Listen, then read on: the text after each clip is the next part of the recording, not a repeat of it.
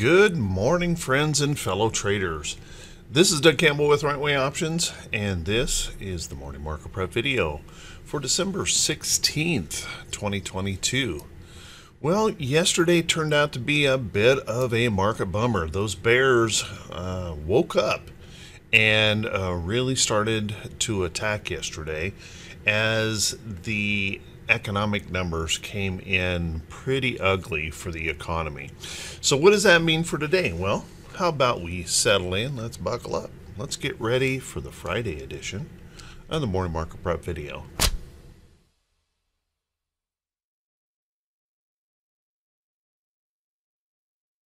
Good morning once again, everyone, and thanks so much for being here.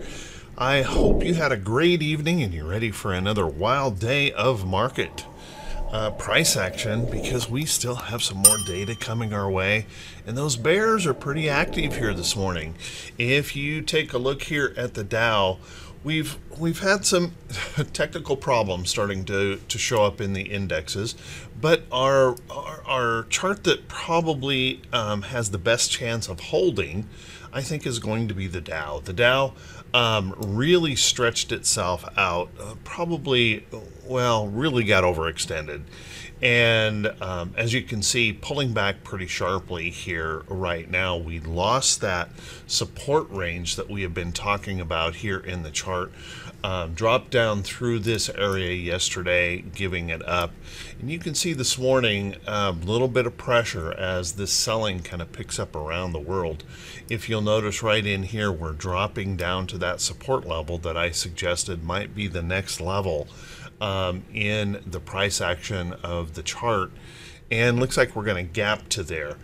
Now, my goodness, you know, if we can hold this if we can hold this downtrend area as support, what we have done is we've gone from an overbought condition to an oversold condition really fast. And that would mean that we are getting close to a place where we could get a bounce, assuming we don't get a pile on of bad data here today. So let's take a look. Um, where would we look for our next level of price support? If those bears continue to find inspiration, where would we go? Well, I think there is a little bit of a price level right in here. Um, it's not a super strong price level, but there is a price level that extends across the chart there for a ways. So if those bears find inspiration, then maybe we can um, find some support down in this area. And if that fails, I'm afraid it gets pretty ugly because if that fails, we'll probably come all the way down into here. Now, looking at this uh, on a technical basis, if we were to look at um, our moving averages in the chart, um, I think we have that better chance that we hold right in this area right here that first price area that I was talking about because that would probably hold us in there right around right there right around that 200 day and 50 day moving average in the Dow. That would be a pretty um, substantial pullback and a, a decent technical level to uh, find a little bit of price support. So I wouldn't rule out the possibility of that um, once we start moving toward a 50 day moving average with the speed that we are moving at it right now.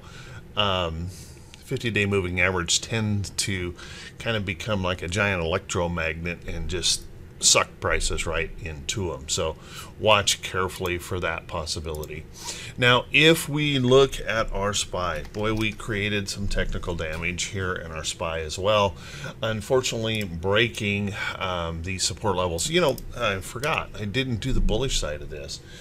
If we can find some bullish um, inspiration here in the chart, then what I would look for is um, a reclaiming maybe of some support levels up in here um, after this gap down this morning. And if we can uh, fire off even more bullishness, then maybe a retest up into this level.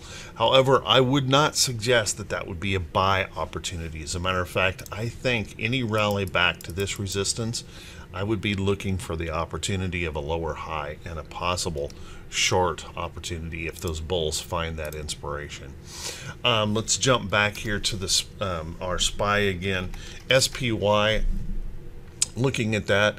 If those um, bears continue to push here this morning, you can see we are gapping down here pretty substantially here. There is some price support in this area. So if those bulls can stay inspired and, and maybe defend, we might defend this area here in the chart. If that doesn't hold, unfortunately, it's a pretty ugly drop to the next level of reasonable support here in the chart. That would be pretty darn painful and would really overextend this uh, downside move. Um, it would have to be an emotional move, I think, to extend us down that far all at once. Certainly possible because we've had a very emotional market.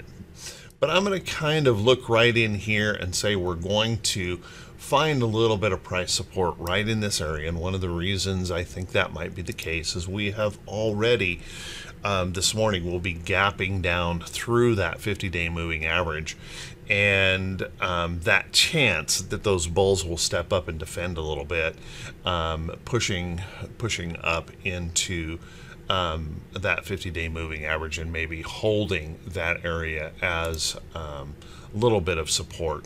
Now, keep in mind, any rally back, we're going to be looking at this resistance level up here in the chart. And again, I think we do have to watch if those bulls do step up and do something here, then we're going to have to watch this area up in here pretty carefully um, that possibility that we could fail um, in this area seems relatively high at this moment. The only way I would be able to trust that we're going to, the bulls are going to take back over is we need to reclaim a support area in the chart uh, then make sure and prove that we can hold it and then there might be that opportunity for the upside um, here in um, the SPY. Let's take a look at our QQQ. I've been mentioning how critical this level in the NASDAQ is and unfortunately we failed it and, and failed it pretty hard uh, yesterday. So we're dropping through this very significant level of price support in the nasdaq um, extending on down this morning. Now if you'll notice we have a little bit of price support right down in here. Um, but it's not it's not a super strong price support unfortunately. However, gapping down in this area, we could easily test this today and then catch a little bit of relief rally um, back to the upside. So if those bears continue to find inspiration here and, and we um, push on through this, well, I think the only place left we have to go is down toward the lows of the year. So, unfortunately, if if that cracks, there's not a whole lot um, to hold us up here in the NASDAQ. However, if we can get that defense right in here um, and the bulls find something to be inspired by, maybe just the oversold condition um, in the market, inspired by, and we can hold in this area, then look for those rally back um, areas that we could come back up and test the bottom of yesterday's candle, maybe push a little bit higher, test this resistance level again in the chart. Now, once again, if we can get that much work done, the only way I can turn bullish on um, the NASDAQ is we'll need to push back up, hold a higher low, and then resume possibly an uptrend. Until that occurs, I will be watching for any rally back for a potential short um, here in the market. So be kind of careful here on these charts. A lot of technical damage has been created. If we take a look at our moving averages here, obviously yesterday we lost the 50-day moving average here in the NASDAQ. I, I had mentioned that's a pretty critical um, area for us and we're gapping down through that a little bit this morning. So not the best of situations here for the market. But again, that oversold condition could inspire a little bit of defense, assuming that the data doesn't continue to come out ugly if we take a look at our um, IWM, well, the follow through here in IWM has confirmed the downtrend. Um, uh, we had a double top high here. We broke support.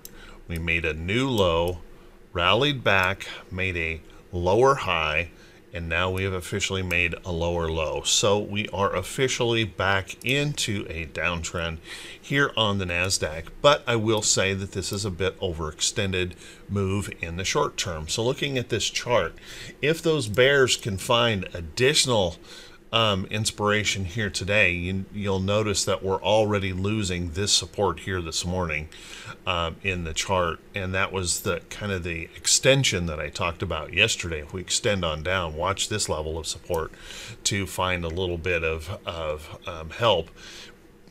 If with that giving up this morning, if the bears continue to press, um, I think we're down here. That's that's our next level, somewhere in this area here in the chart if those bulls can defend this area here this morning, can defend, make that just really um, stiffen up here just a little bit or find some good inspiration. Um, a retest right in here, notice that resistance level right across through there, would be a reasonable pushback to the upside. And if they can push on further than that, then a retest right up there is where I'd be looking for. Now, again, any rally back, and particularly in IWM, I would be really focused on the possibility that we just catch this downtrend and move on lower um, in the Russell. You have to keep in mind that the SPY, QQQ, and IWM all failed at long-term downtrends. So technically, we're in a pretty ugly situation here in the market.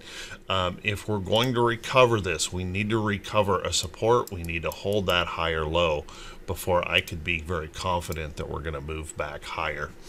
Let's take a look at our VIX. Our VIX. Um, got a little bit of fear showing up in that chart and as I mentioned yesterday there was that hint in here of that inverted head and shoulders pattern showing up in uh, the VIX. Now we're holding some price support in here. We're holding this downtrend here with the VIX and this panic this morning, um, gap down this morning, could truly trigger a little bit of VIX spike here in the chart. So watch carefully if we were to start to push on up and break some of these resistance levels um, across here in the chart. That could be problematic for us, and that fear could really start to come into the market. You know, there was actually a story on CNBC this morning um, Santa Claus rally is over. Um, I don't know that that's true, but certainly with that sentiment starting to creep up and people losing hope in um, that Santa magic here, um, that can really bring out those bears. So watch carefully. If we take a look at our T 2122. This might be our best hope with this gap down this morning. As a matter of fact, I was mentioning this in Right Way Options um, yesterday. If we were to gap lower this morning, that might be our best opportunity to catch a relief rally because what that's going to do is it's going to push our T2122 way deep in this bearish rever or bullish reversal zone here in um, this chart. So we'll want to watch for that possibility that the bulls will defend and that opportunity for that rally back. We this gap down this morning is going to put us pretty low here in this chart. So not much opportunity to move a whole lot lower unless we just get a pylon of negative data here that really um, breaks the floor out from underneath um, this market. My guess is we'll probably catch some support in here and see a little bit of a relief rally and maybe start pushing this back up. Now that doesn't necessarily mean we zoom all the way back up. In fact, I think we should get a little bit more comfortable that the bears are going to be um, back in control here for a little while based on um, three of those index charts anyway. So watch that carefully. The Dow would be our best opportunity to catch that support off that 50-day moving average and maybe push us back up. But we've opened up good opportunity here for that upside move. Now, now that I mentioned um, right way options here for a second, I want to uh, let everyone know, you know, next week we're going to be, you know, heading into the holiday. And what I've decided to do, because it's probably going to be a pretty slow trade week next week, I'm just guessing that, um, I'm going to open up right way options to the public. So Monday, Tuesday, Wednesday, Thursday in Right Way Options. I will be doing during the normal Right Way Options class period. I'm going to be doing it, and that's 11 p.m. Eastern to 1 p.m. Eastern every day. I'll be doing a specific class for uh, folks that want to come and attend the Right Way Options service for those few days. So, um, if you have an interest, make sure you go to the Hit and Run Candlesticks website Monday. Go to the Right Way Options page. It will be open. I'll be placing some links um, around in the video um, on Monday so I can get you easy access to the room and um, I hope to see you there. Um, I think the first class we're gonna we're gonna do we're gonna dive deep into some price action work and um, talk about some strategies that um, I think can be helpful for a lot of traders. So um, put that on your schedule Monday, Tuesday, Wednesday, and Thursday next week. Uh, some free training um, out of Right Way Options. Let's take a look at our T21 08 T2108 as you can see we really started to feel a little bit of pressure here um, in the chart I've been really giving this up to the bulls here they they'd been holding pretty darn well but that started to slip here yesterday as you can see. We broke down through these tops in T2108. a Little bit more pressure in here. The Bears have gained a little bit of an advantage, but it's not horrible yet. Um, I think we're at that point where we should catch some kind of relief bounce um, here in the very, very near future. I'm, I'm not suggesting necessarily today, but in the very near future, catch some kind of relief bounce back to the upside. Um, unfortunately, uh, the number of stocks holding above their 50-day moving average slipped back below that 50% area. So we're starting to tip a little bit uh, more to that bearish side here um, overall. And our T2107 well, our T2107 did a good job. It didn't break down as hard as I would have expected.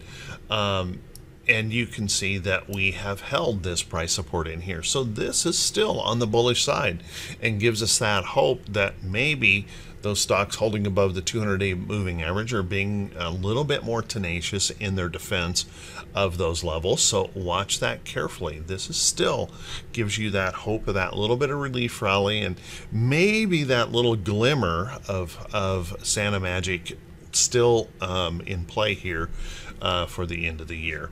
If we take a look at our uh, T2101, T2101 still has been, the volatility in the market is making this very erratic.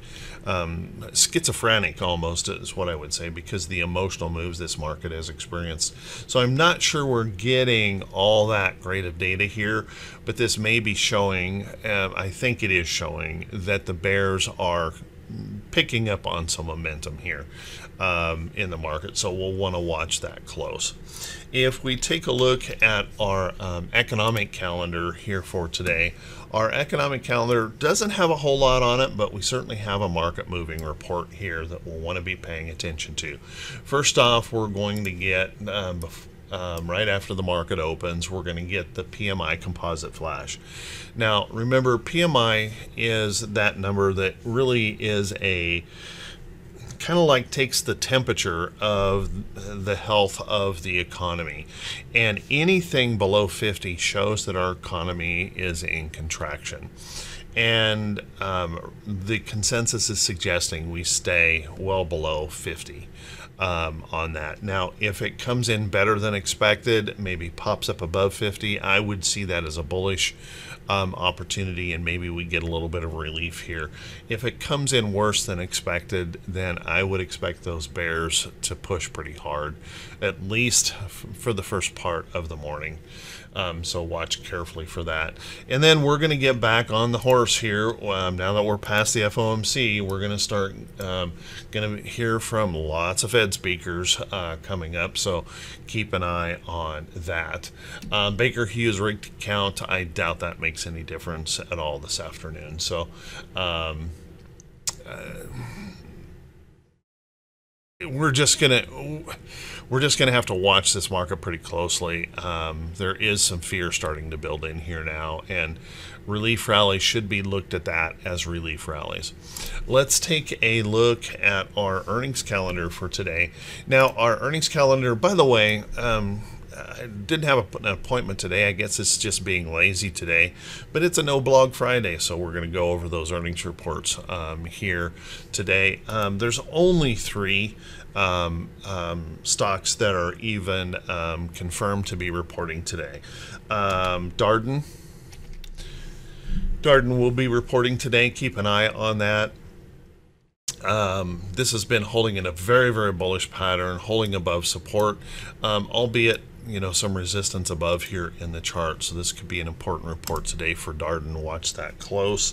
Um, ACN ACN will be reporting today. Looks like we might have already reported got a little bit of bearish activity here in the pre-market breaking that uh, level of support here. So keep a close eye on ACN and, and then of course WGO uh, Winnebago reporting you know, unlikely to be a market mover. Um, uh, but you can see we've been struggling here in a little bit of a downtrend um, at the moment, uh, but we are holding these higher lows. So we're wedging um, this chart here to um, see whether we're going to pop through or break down. Um, so that could be an important report to make a decision on that direction. Yesterday, the really the after after the bell, the only um, particularly notable um, was Adobe, and Adobe had a good report last night, and so that might be helping. Whoops, that might help um, uh, the QQQ ever so slightly here today um, trying to push up into this resistance and still trying to get up there and fill that gap here in um, Adobe. So watch that one close. Let's take a look at some stocks that could be setting up. But before we do that, guys, if you could do me that quick favor, if this is the first time you've seen these videos, if you could please click the subscribe button on YouTube and then also click the bell icon um, when it pops up so you'll be notified every time I post a video. And if you find these videos to be useful or helpful, if you could could please do me that favor and click that thumbs up button, leave that brief comment. That helps the channel to continue to grow. And I just want to say thank you so much who, for everyone who does take the time to do that. I do truly, truly appreciate it. Um, also, just a big shout out to those folks who continue to support the channel through the Buy Me a Coffee link. That is also just below the title of the video today. So let's take a look at some of these stocks setting up. And please keep in mind, guys, these are not recommendations. As a matter of fact, you know, it is a pretty tough um, uh, road out there right now in the market. We're a little bit overextended on the short side. You don't want to be chasing to the short side at the moment. And there's not a whole lot out there to be really bullish on um, in the market. So um, kind of a tough situation here to uh, recommend too much of anything.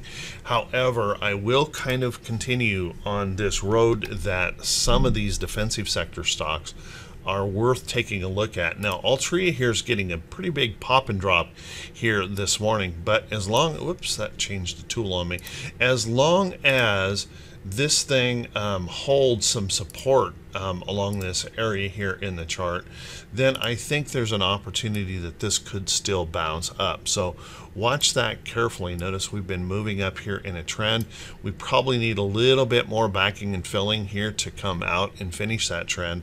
But I'm starting to see a lot of those dividend paying stocks holding up quite well and doing pretty darn good. And speaking of, you know, dividend paying stocks, take a look at like Southern Utilities.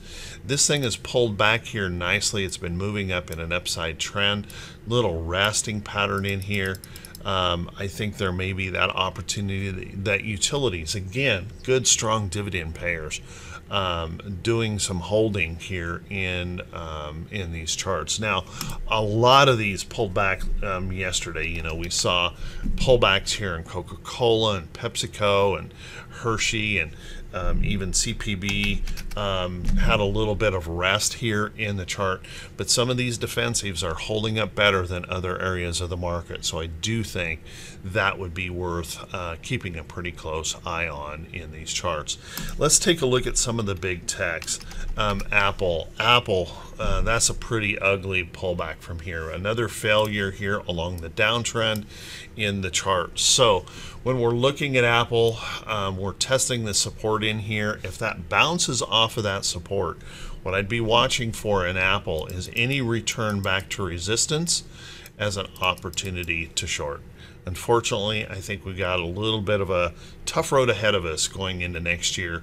So watch for those potential short places here in the market. AMD kind of disappointed yesterday, breaking down through these support levels it couldn't hold. As you can see, created a lower high after a lower low and now we are officially downtrending. So once again, any rally back, I would be looking for those um, opportunity shorts in the market until um, a higher low, um, a, a, support can be recovered and hold in a chart like that. I have to be on the short side of those markets. Let's take a look at our financials. I think our financials um, are showing us a major problem here in um, in our market. So um, breaking down lower high, lower lower low, lower high, breaking down through support. So once again, same story. Any rally back up here that stays underneath that resistance and downtrend, I think is an opportunity um, short um, in those financials. So you'll want to watch that pretty closely um, out there. I'm going to have to say the same thing for energies. If we take a look at um, XLE, it's um, we've already seen that pattern kind of de develop here in XLE. Um, um, on those energy stocks. So you can see we ran into this price resistance in the chart. Um, that created some selling. We're pushing back down. If we lose this support in here, that confirms that the trend is still down in that chart. There is some nice price support right in here. I'll give them that. But if you watch that carefully, um, I think any rally back up into here, um, I think I would be looking at a lot of those potential short trades in oil um, sector stocks because what I think we're starting to see is uh, an acknowledgement from the market that demand is being destroyed here, that the consumer is in a pretty rough place, and um, could see some more downside here in some of these areas.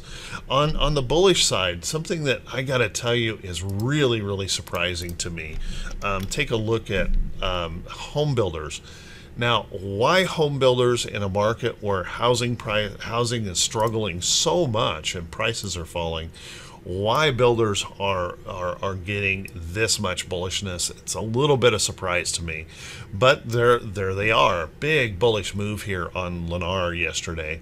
Um, rest or pullback in there could set up an opportunity to the upside. If you take a look at Pulte Homes, we've got the same thing. Toll Brothers, the same thing. Lots of bullishness here in the home sector. Uh, maybe it's because you know uh, we had those rates falling for a little while. I don't quite get this, but um, there they are. And if you're um, interested in some bullish charts, that might be some opportunity.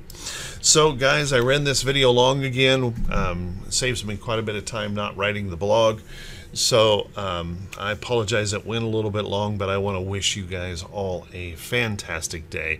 You know what? When the market sells off like this, everybody gets a little bit bummed out. But remember, as long as you don't fight it to the downside, let it happen there's going to be some great prices when this is over. So let that let that occur. Try not to fight the market. Move with the direction of the market. Look for the look at the charts for what they are, not for what you want them to be, and stay on the right side of the trend. With that, everyone, I want to wish you all a wonderful, wonderful day. Thanks so much for being here today, and I hope you have a fantastic weekend. See you right back here, bright and early Monday morning. And remember, RWO, Right Way Options, the room will be open Monday, Tuesday, Wednesday, Thursday of next week. Hope to see you there.